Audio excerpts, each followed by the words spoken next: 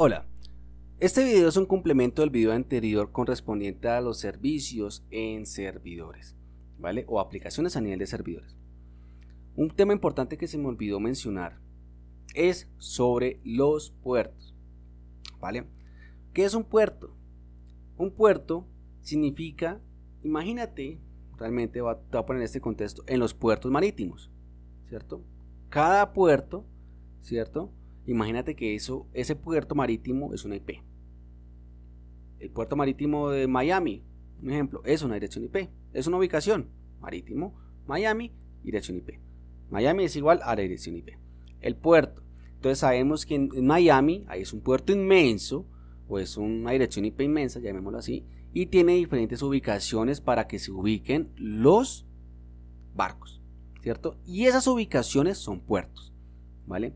Puerto 80, puerto 443, puerto 20, puerto 22, puerto 21, etc. Son diferentes puertos. Imagínate eso. Entonces vamos a abrir nuevamente nuestro dibujo. Tú sabes que soy un experto dibujando, entonces eh, me vas a entender súper claro. Entonces acá encontramos. Entonces encontramos, antes que nada, acá encontramos la dirección IP, ¿cierto? Vamos que se llama 192.168. Dejémosla así, el resto te la inventas tú. ¿Vale? Esa es la dirección IP de nuestro servidor.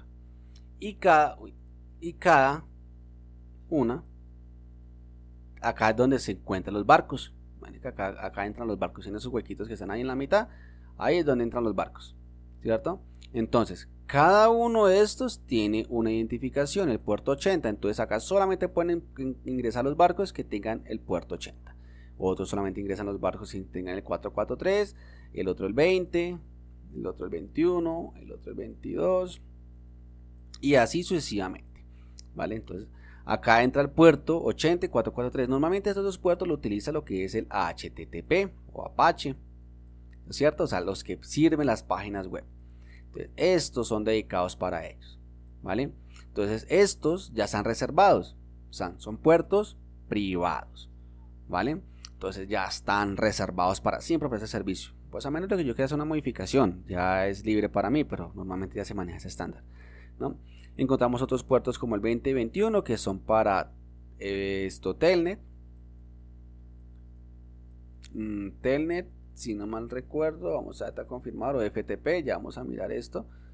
Ya te digo en dónde están. Esto es para SSH. ¿Cierto? Y bueno, los demás. Ok, ahí lo tenemos. Entonces, espero que haya sido claro lo que es un puerto y esta combinación de una dirección IP, dirección IP y un puerto hacen lo que se le llama socket. ¿Listo? Un socket es la combinación, para que de pronto lo tengas en cuenta, es la combinación entre un puerto, una dirección IP, qué pena, una dirección IP y un puerto. Eso abre un socket. ¿Listo? Para que lo tengas en cuenta. Bueno, ahora sí vamos a vernos acá un momentico, vamos a ver acá un momento, entonces puertos más Wikipedia más informática. Listo. Entonces acá, bueno, esos son otro tipo de puertos. O acá puede generarte una gran confusión. Estos son puertos a nivel de hardware, ¿no? Esos son puertos a nivel de hardware. Eh, vamos a encontrar si encontramos puertos lógicos.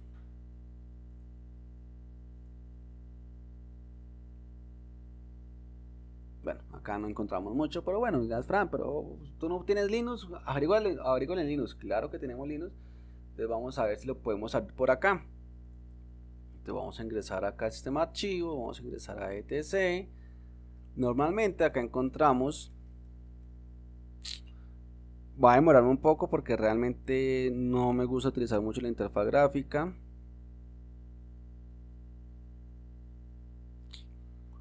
acá encontramos los protocolos que soporta GNU Linux. Los protocolos son como TCP, como UDP, etcétera. Entonces acá encontramos esos diferentes tipos de protocolos y GMP, HCRP, eso se utiliza mucho para lo que es redes, etcétera. Entonces acá encontramos los protocolos, pero hay uno.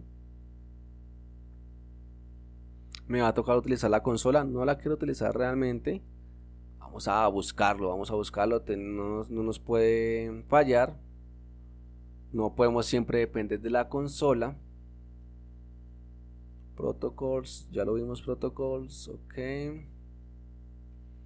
A ver si, recuerdo el nombre por acá.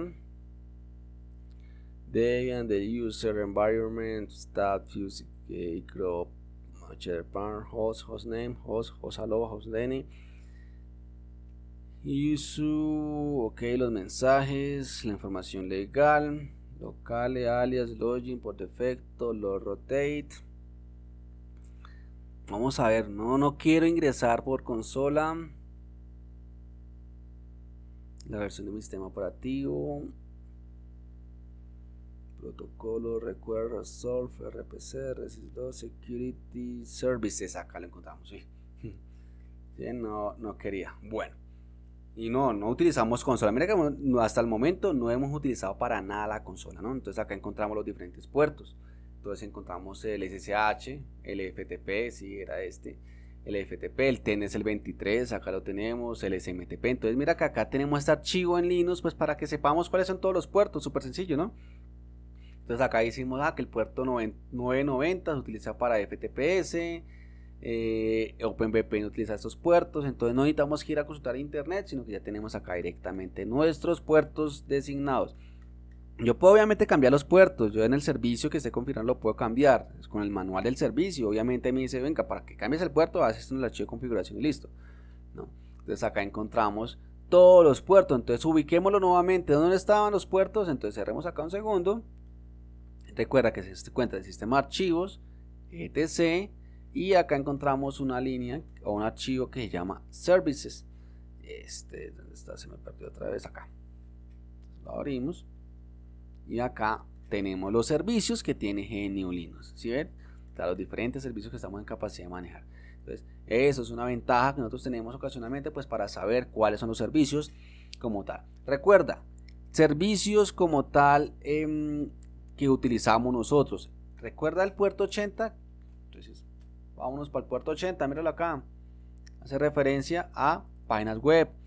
El 443, ¿a qué hace referencia el 443? Y acá lo encontramos. Hace referencia a páginas HTTPS o protocolo seguro. El 567, acá lo encontramos. Vamos a irnos para arriba. Vamos a irnos un poco más para arriba. Vamos a devolvernos. Por acá debe estar. Bueno, no está acá. Vamos a buscar, digamos que no me lo sé. SMTP. Tenemos el 25, SMTPS. 465, acá lo tenemos. Em, bueno, mira, acá tú puedes buscar y encontrar el servicio que te interese. Entonces, sabes el puerto, sabes, etcétera. Mira, acá tenemos el de Microsoft, el de Zip, que es el de Samba. También, obviamente, utiliza otros puertos adicionales etcétera. Entonces estamos dando cuenta que acá tenemos todos los puertos. Te invito a que le des una mirada a este, a este, a este archivo que ya realmente lo cerré porque ya estoy dentro. Ah, no, ya. Ya. Entonces ahí te invito a que realmente mires qué puerto se maneja. Ahora sí, en el siguiente video vamos a ver lo que son los lenguajes de programación. Vamos a dar una introducción al respecto.